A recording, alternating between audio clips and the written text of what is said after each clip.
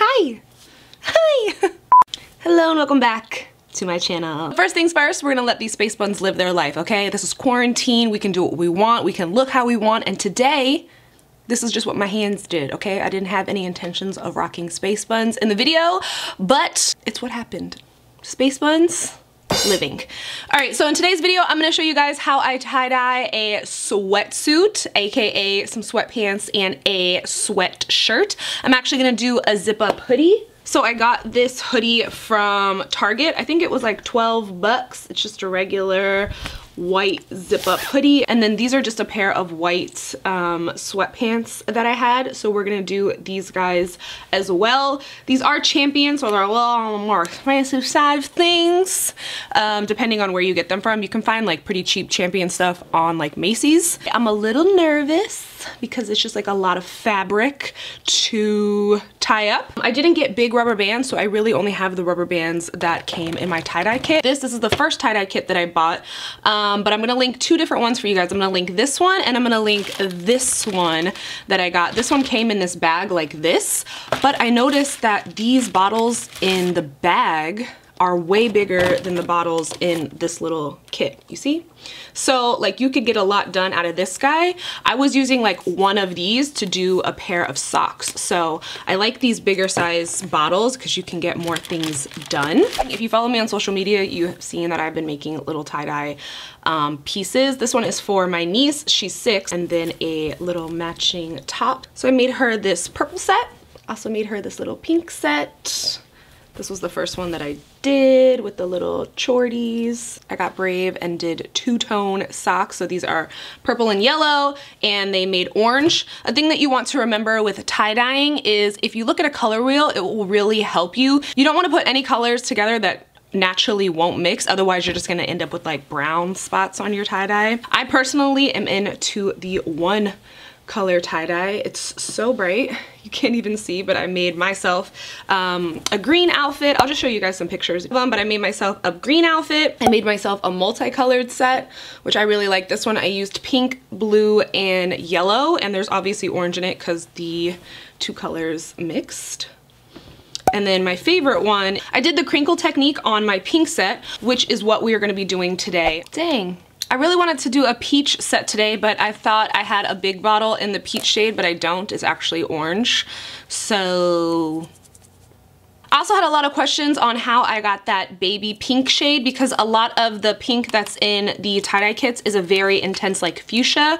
So what I did was filled it up like regular and then I poured it all out and I filled this up completely with water and then I just added like a little bit. And then if you squeeze it onto a paper towel, you can get like a pretty good gauge of what the color is gonna look like. So you can just keep adding more water to the dye to make it a lighter color. So that's how I got that baby pink shade. If you want any of your colors to look more pastel or light, you can just dilute them with water and then again just test it on a paper towel. Also, you can wash it out sooner than the recommended 24 hours. A lot of these pieces, I just had the dye on for around three, four hours and washed them off and they still look really good. So if you want a lighter color, just add more water or wash them out sooner. But if you want the full intensity of color, make sure you leave it on for the recommended six to eight or overnight if you want. I'm really upset. I thought there was a peach in here. All right, let's go tie-dye some things and let's get it going. All right, I just find it easier to work down on the floor. You see that I have like a little protective layer, but if anything gets on this carpet, it's not a big deal to me because there's just a lot that's on this carpet from Halloween videos, and I'm gonna take this carpet out pretty soon anyways, so it's not that big of a deal, but if you are concerned, make sure you're just working somewhere that you won't stain it. These little paper gloves come in the tie-dye kit. And then you're gonna need some rubber bands. Like I was saying, these are the rubber bands that come in the tie-dye set. So if you give them like a good stretch, they will start to just loosen up a little more. Excuse me, ma'am. Also, I found a teal bottle of tie-dye. So I'm gonna try to do teal because I feel like I haven't dyed anything teal yet. I am gonna dilute this though a little bit so it's a little bit of a lighter shade. So you're gonna need some water because you're gonna dunk whatever you're tie-dyeing into the water. Also, it's gonna stain your fingers right away, so just keep that in mind. I'm gonna pour the tie-dye in here, probably about half of it. And then I'm going to take this turkey baster and fill it up with water and then add the water. I find that I like the shades just a little bit more if they're a little lighter. And then make sure you put this dye somewhere that you're not gonna knock it over because this guy is strong and he is powerful. And then if you wanna test your color, you can just take like a white paper towel and squeeze some color onto it. And then you can kind of get like a rough estimate of what your color is gonna look like. I think I'm gonna water this down a little more actually because that looks pretty intense still.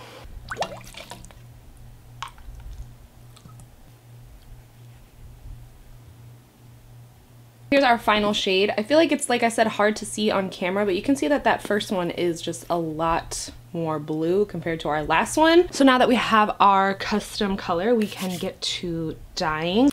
I'm a little nervous for these tie-dye pants. So I'm gonna put my gloves on because I have dye on my hands already, but if you don't have any dye on your hands, you can just do this with, you know, your hands, but I don't want to risk it. Just gonna get this soaking wet. So you just want to put whatever you're dyeing in a bowl of water and just get it wet. If you watched my tie-dye sock video, all these steps are really similar. But you guys wanted to see a sweatsuit, so that's what we're doing. Yeah, it is kind of hard to get this guy in there. If you got like a bucket or something, that would probably work best. It's just gonna help the dye stay in there and it just helps it bleed better onto the fabric. And then you're just gonna squeeze it out.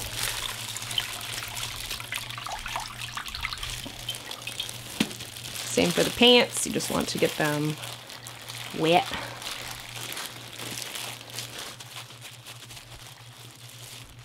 And then squeeze them out, which is the hardest part.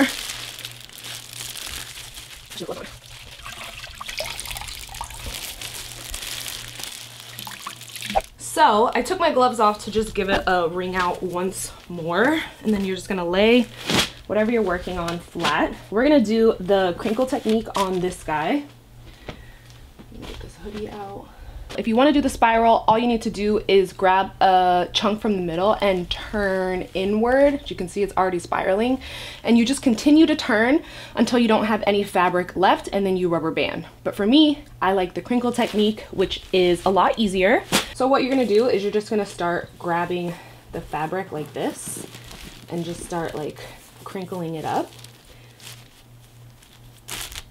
Like that. So that crinkle part is easier to deal with.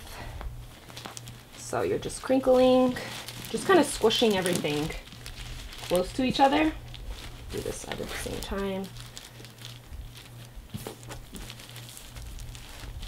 Just get it in close.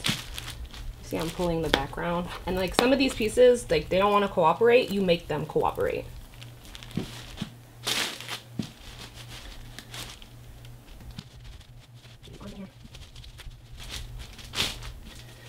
No idea how I'm going to tie this up. That's going to be a task on its own. But just keep squishing it together or crinkling it up, you know? Drop cloth, whatever this is. All right, so then it looks something like that. And now I have to try to rubber band that and secure it together. The nice thing is, is it's hard to like mess up the crinkle. So I'm just gonna take as many rubber bands as I think we could use on this.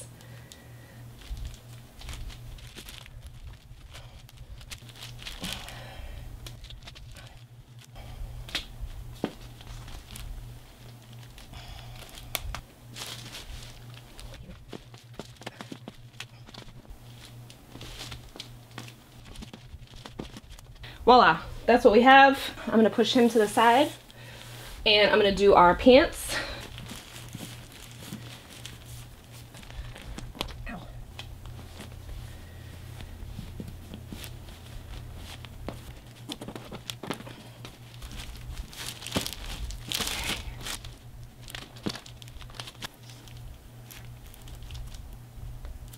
Now we have everything tied up, we can start dyeing. I personally like one color tie-dye with white. I feel like it's more versatile. You can wear it with more things.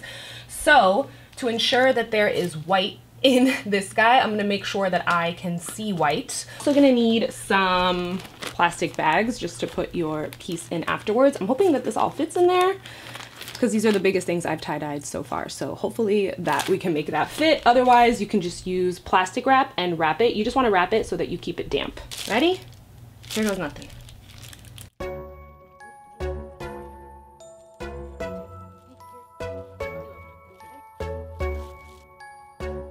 Good, make sure you shoot down into it.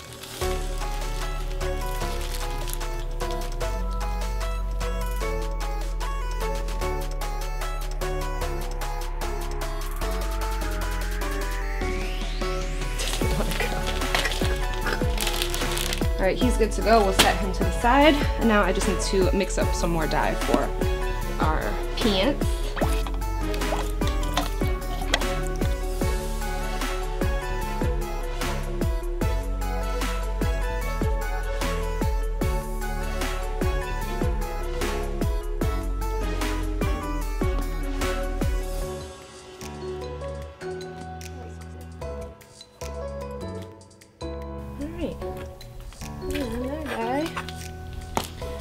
Done.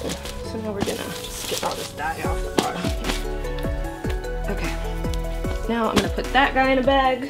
So I'm gonna let these guys marinate and then I will see you guys when it's time to wash them out. All right, so these guys have been sitting for about six or seven hours. It's about 9.30. So I'm gonna go rinse these out and see what we got. So I'm gonna rinse in cold water until the water runs clear. And then we're gonna throw them separately into the washing machine.